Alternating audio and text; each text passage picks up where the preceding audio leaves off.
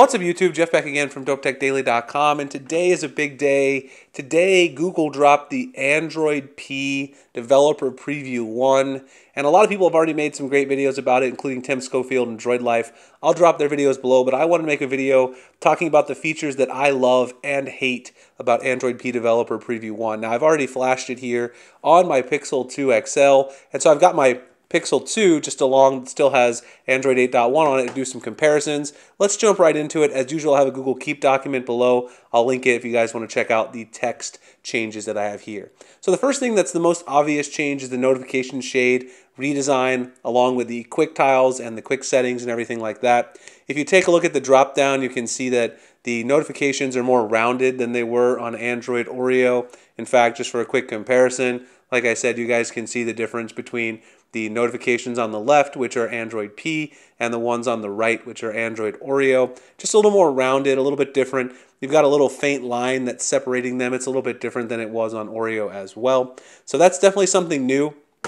Another thing that you'll notice in certain apps is that you can actually have inline pictures and uh, smarter smart replies. So more apps are getting these smart reply top options, including you know apps like backdrops, things like that where you can actually perform actions uh, from within the quick settings, and more and more apps are going to receive those. Now, a lot of people were talking about the inline pictures that you can actually view. For instance, you can see I have a picture waiting in Hangouts.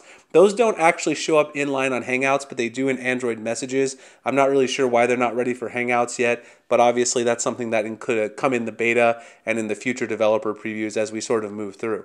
But not a huge change, but definitely something different. So you guys can see also the new animations. We'll talk a little more about those in a bit. So if you actually scroll down, you'll see a pretty substantial change to the uh, quick settings and uh, the tiles up there at the top. Obviously, I've got the dark mode because I've got a dark wallpaper there, but you can definitely see there's some changes. You got these little circular icons actually showing you what's being displayed there. As you can see, I've got the Android P Boat Beta program. Uh, you can see that it's also got my Wi-Fi there. There's also a little Wi-Fi indicator showing the up and down arrows, as you guys can see right there in the notification shade. Um, another thing that you can see here is that you also have um, no more expandable tiles at the bottom, so you can't actually expand your quick settings. A lot of people are going to hate that. You can see on Android Oreo, you've got these little arrows here where you can actually expand the quick settings below. And a lot of people use that for things like Wi-Fi and Bluetooth. That's now completely gone in Android P. So that's definitely something that I don't like. Uh, also, the settings are now not paginated anymore. They're actually vertical scrolling. So that's another change that people may or may not like. Obviously, it's a visual thing, you know, but it is certainly something that you're going to have to see if you like the overall aesthetic. There's not really too many functional things aside from those quick settings being gone, and I'm definitely going to miss those when it comes to Bluetooth and Wi-Fi settings.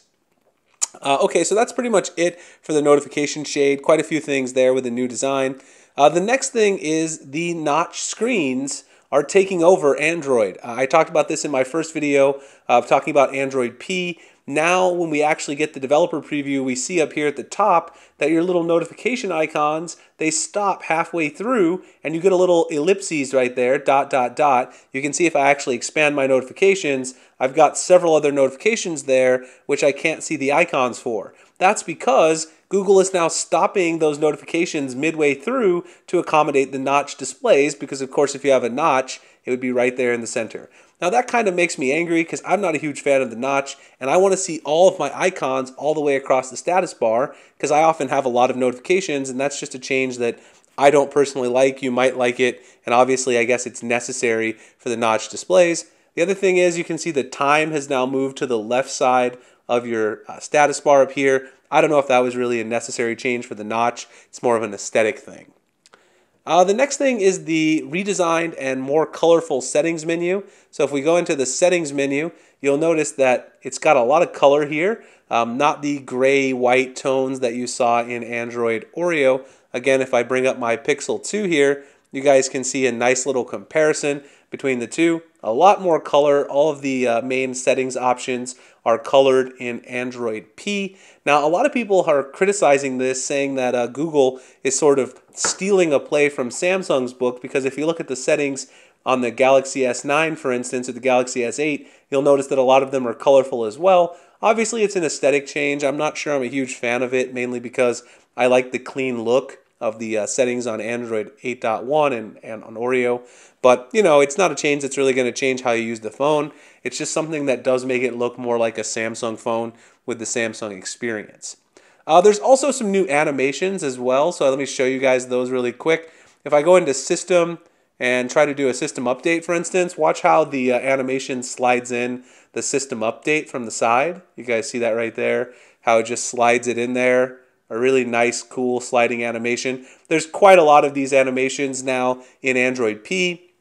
Another really cool thing in terms of animations and haptic feedback is when you actually bring the uh, menu down, the notification shade, it actually gives you a little bit of haptic feedback, a little bit of vibration, which obviously I can't show on video, uh, but that's obviously something to note. If you actually use it yourself, you'll definitely feel that. Uh, the next thing is the volume slider. It's been moved to the side, so when you actually take your volume slider and you press the volume, you'll see that the volume slider is now on the side, not on the top anymore. So if you change your volume, you're going to see it right there. There's a couple of interesting things to note. When you change the volume, you can see that the media volume is now the default volume that you're going to change. Not the ringer, which was the previous default on Android Oreo and before, but the actual media volume that you're outputting like music, YouTube, etc. You'll also notice that right below here, there's a little toggle for your calls. So you can turn calls on vibrate, mute, uh, or ring, which I really like. And then at the top here in the volume slider, you'll notice these little arrows. This is a media output control, so you can actually control the media output, for instance, your car, your headphones, your other headphones. I got a whole bunch of different headphones. You can actually control that right within the volume slider. So I kind of like this one. This is a kind of a functional upgrade to the volume slider, puts it in a better location, and makes it a little bit easier to do some things that you're going to want to do pretty often.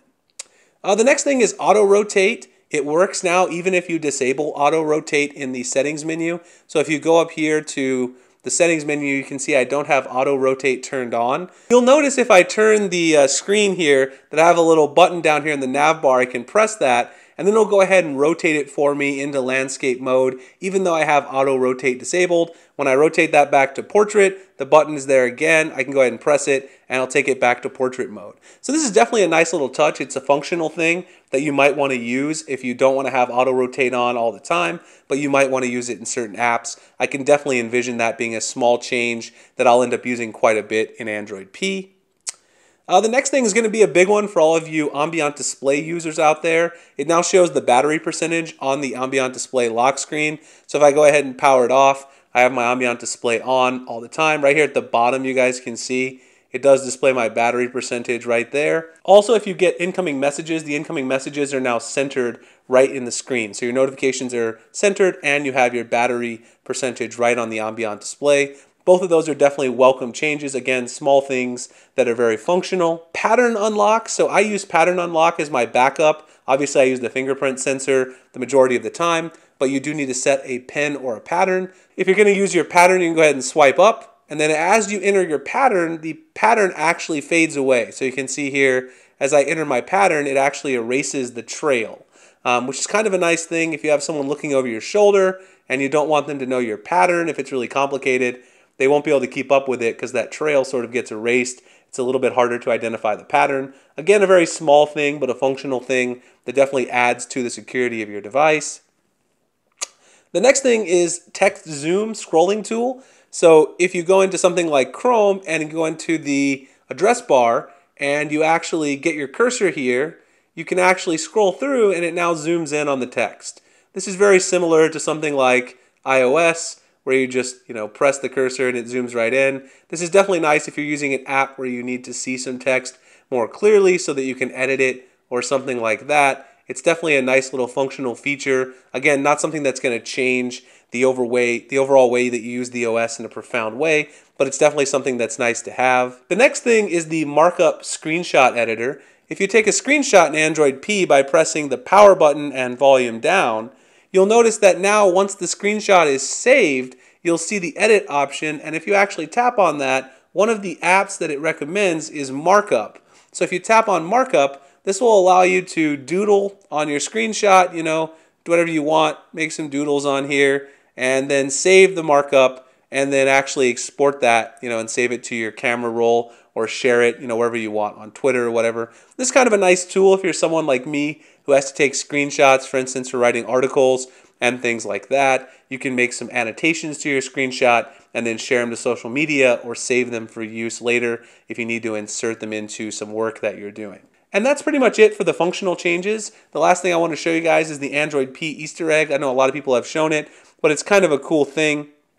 Easter egg right here. You can actually zoom in on the P, just kind of trippy, kind of interesting. And also if you back out of here and then you tap on the P again, you'll get a different color for the Android P Easter egg, which is kind of a nice thing. Uh, it's not as cool as the Flappy Bird or anything like that, but it's definitely something that Google put in there for us to check out.